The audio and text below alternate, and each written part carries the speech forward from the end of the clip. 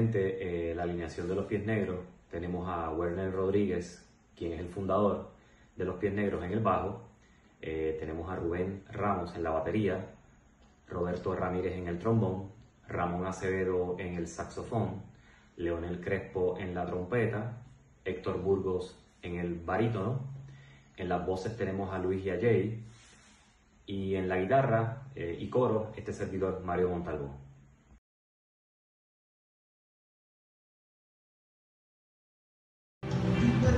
Pues Los Pies Negros se forma luego de la ruptura de la banda punk que yo tocaba, que se llamaba The Frontside Generation. Eh, cuando esta banda se rompe, como yo estaba bastante metido en el ska, decido formar mi propia banda de ska. Entonces ahí comienzo a hablar con Wilmer, el primo mío, que también estaba metiéndose en el ska. Y comenzamos a darle forma por ahí como para diciembre del 91, empezamos a tocar algunos covers, a empezar a buscar otros integrantes, cantantes, bateristas, que era bastante difícil para aquella época.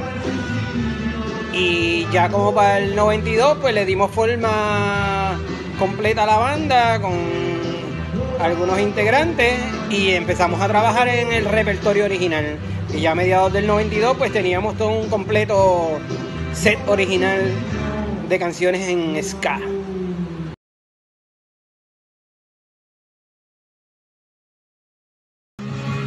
Pues cuando yo fundé Los Pies Negros, eh, la idea principal de la banda era llevar un mensaje de conciencia. O sea, con este ritmo bailable, entretenido, tratar de hacer entender a las personas de que no importa tu raza, color, estados social, civil, este, etcétera, etcétera, todos somos iguales y no hay razón para que haya discrimen, no hay razón ni debe existir el racismo y pues en, nuestras canciones nosotros plasmábamos esos mensajes. Adicional pues llevábamos mensajes de conciencia sobre el amor y otras cosas porque yo creo que eso es bien importante en estos días este para que las personas pues sean más humanas y compartan más.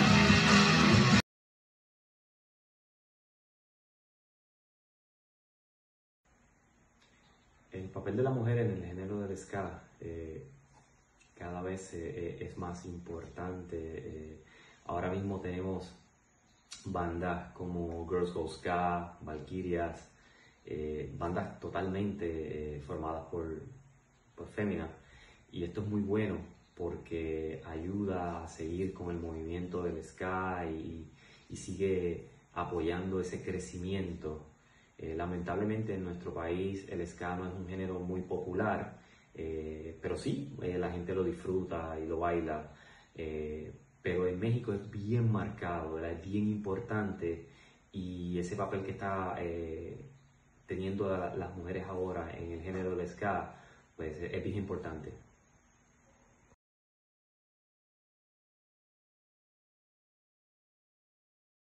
Bueno, el movimiento PON en nuestro país es uno subterráneo, ya que no contamos con apoyo de las disqueras ni los medios de comunicación, ya sea radio, televisión.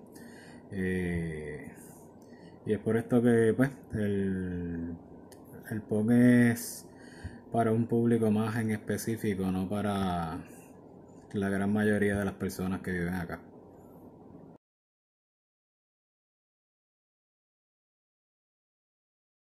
Bueno, pues el movimiento punk y skin en México eh, lo veo como, como uno bien organizado, este, tiene mucho apoyo del público y con muy buenas bandas y creo que es este una de las mejores escenas y movimientos que hay ahora mismo dentro del rock.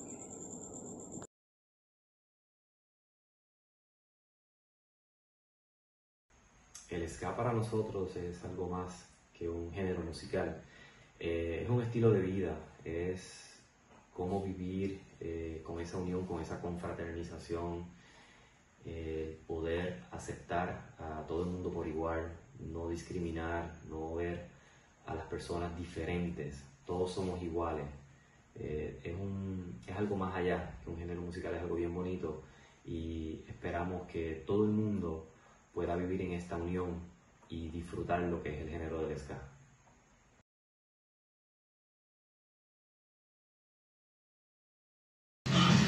sobre las bandas que yo conozco de México, que son de ska, punk, oi, etcétera, pues yo en el pasado conocía de punk así bandas como, como Atóxico, Acidez, Specimen.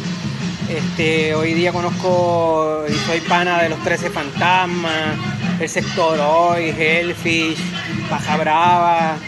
Este, y en el ska pues este, conozco a la gente de Auros Controlarme y somos bastante amigos conozco a los de Madera Santa, eh, conozco a la Tremenda Corte, Sexta Coar, eh, la Nana Pancha, Jamaica 69, El Gran Silencio y así muchísimas más. Este, México tiene un, increíble repertorio de bandas interesantes. Este, creo que hoy día para mí es una de las escenas más grandes en el ska y tiene ahora mismo los festivales más increíbles. Este, y seguimos en esto, apoyando. Sky, siempre listos a bailar.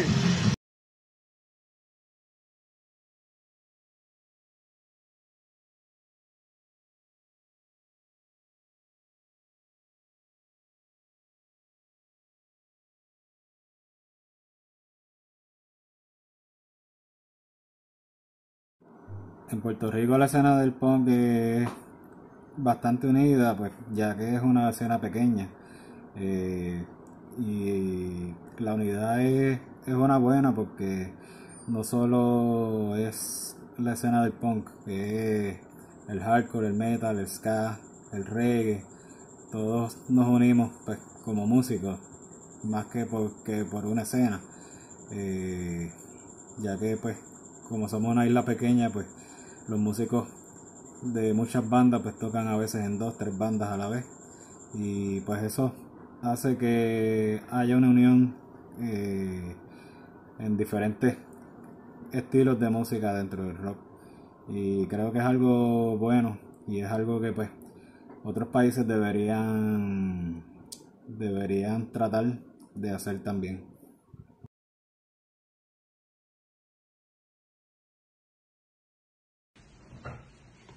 Sí, en Puerto Rico, pues nuestra cultura y tradiciones se ha afectado un poco por, las tradiciones americanas, ya que al Puerto Rico ser parte de un, territorio de Estados Unidos, pues se practica mucho más eh, las tradiciones americanas y a su vez pues se afectan un poco las tradiciones originales de nuestro país.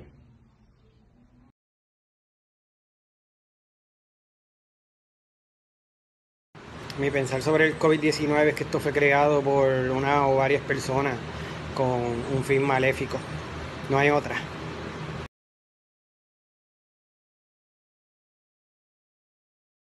Sobre las consecuencias del coronavirus en Puerto Rico, pues pienso que más que el contagio a mucha gente, pienso que este, va a ser más la gente que se quede sin trabajo, la gente que se quede falto de comida, dónde vivir, este, etcétera, etcétera, porque realmente tanto tiempo en cuarentena pues no conviene mucho porque la gente no está trabajando, se va a hacer bien difícil. Para mí el impacto en la economía va a estar bien difícil, bien difícil. Y el gobierno que es una mierda y no sirve y no ayuda, no aporta, este, creo que lo que viene no va a estar fácil.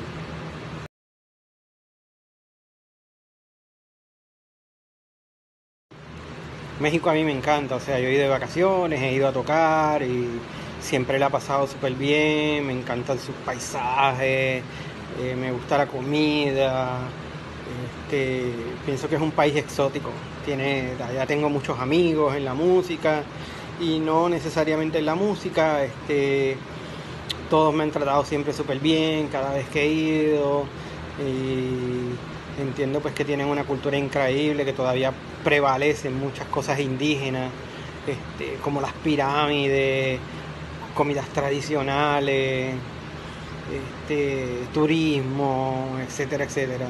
Para mí es como la segunda casa, me encanta.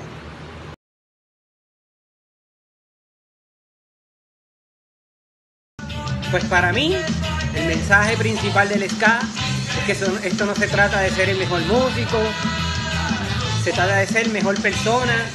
Este ritmo es de unión, este ritmo es de amistad, es para vivir la vida entretenida, con un ritmo bailable donde llevamos un mensaje de conciencia y lo más importante es que debe haber humildad, debe haber unión. El ska es para eso, así que disfrutémoslo. Siempre listos a bailar como nuestro mensaje. Pónganse las botas, pónganse los zapatos y vamos a bailar. Que viva la fiesta, que viva el ska.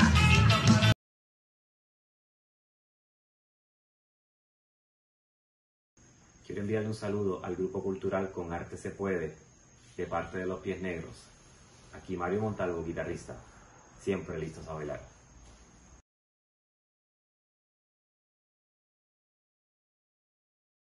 Saludos, mi nombre es Rubén, baterista de Los Pies Negros. Un saludito a Grupo Cultural Con Arte Se Puede.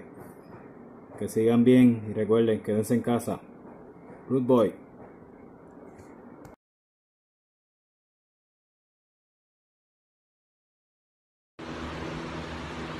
Hola, mi nombre es Werner, bajista fundador de Los Pies Negros y quiero mandarle un saludo al grupo cultural Con Arte Se Puede y a Dina Monava por darnos la oportunidad de ser entrevistada. Eh, saludos, buenas vibras y siempre listos a bailar.